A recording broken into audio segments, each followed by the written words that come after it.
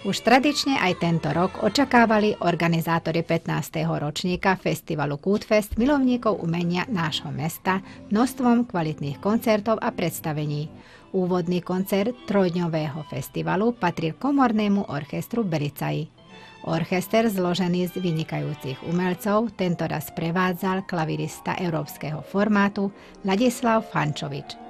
Okrem Mozartovej malej nočnej hudby zazneli aj viaceré známe melódie.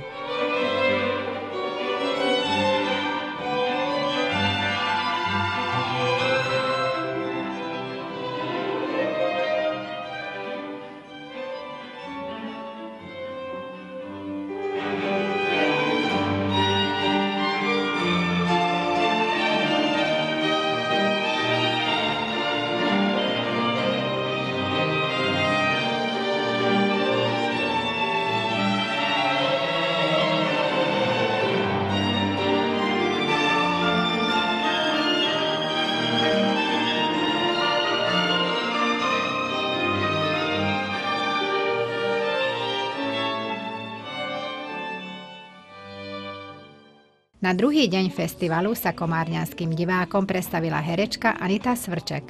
Na pódiu amfiteátra dôstojnického pavilónu zazneli známe maďarské, španielské, anglické a francúzske evergreeny, ako aj latinskoamerické melódie, šanzóny a jazzové aranžmá. Oh, Joseph, Joseph,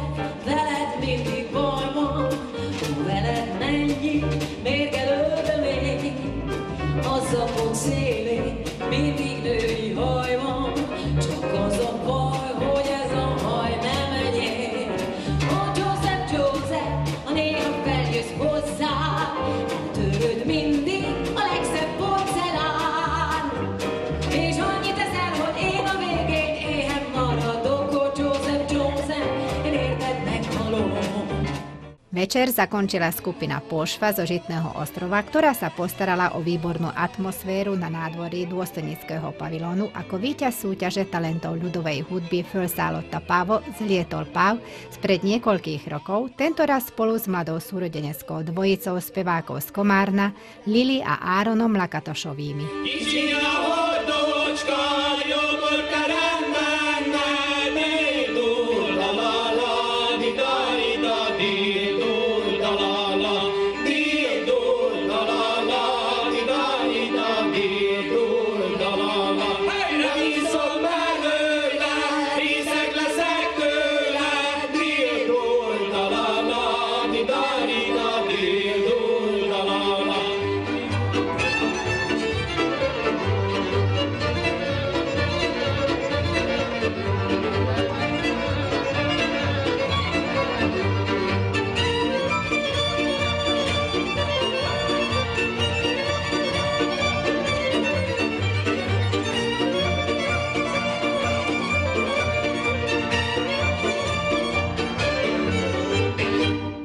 Záverečný deň festivalu sa organizátori snažili čo najviac potešiť najmenšie deti.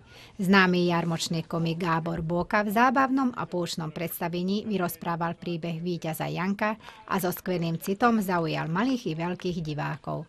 Program pre deti završil koncert Atilu Žabku s názvom Čiribik. Festival ukončilo predstavenie skupiny História z Nesvád. Tento jedinečný koncertný muzikál rozoberá úlohu médií a politiky, novinárov a politikov, vzťahy medzi nimi, pričom nechýbal ani milostný príbeh.